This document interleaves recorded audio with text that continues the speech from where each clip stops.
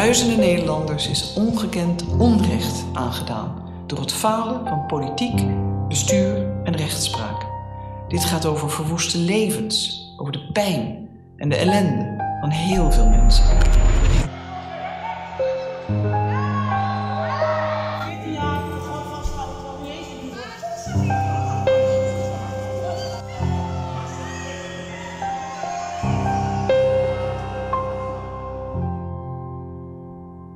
Komt ineens zo'n conducteur naar me toe en die vraagt aan mij of ik een mondkapje wil. Ik zeg nee, sorry meneer, ik heb vrijstelling, want ik heb BTSS. Weet je wel, dat heb ik gewoon verteld. Hij zegt hier, maar dat moet je kunnen wijzen, want je hebt een kaart nodig.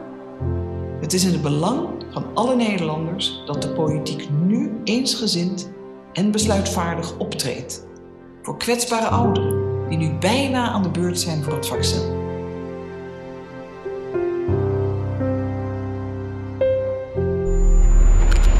Dan zal ik een week eerder doodgaan. Dit is ook geen leven meer. Noem je dit dan leven? Ik niet meer.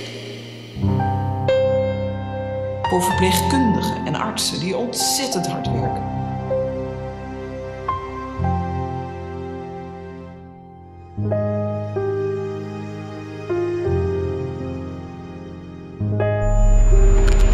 Overgrote deel van de zorgmedewerkers nog steeds zonder beschermingsmiddelen op de afdelingen rondloopt.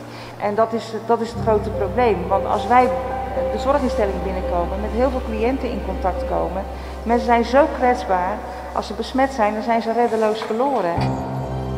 Voor ondernemers die zich nauwelijks nog staande kunnen houden.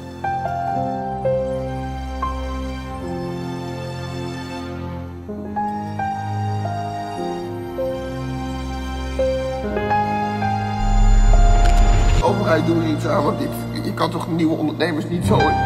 Ik heb jarenlang uh, belasting betaald, ik heb jarenlang een zaak gehad. Voor kinderen en hun ouders die steun nodig hebben om uit de kansencrisis te komen. Het is tijd voor een nieuwe houding in de politiek. Een houding die uitgaat van mensen en menselijke waarden.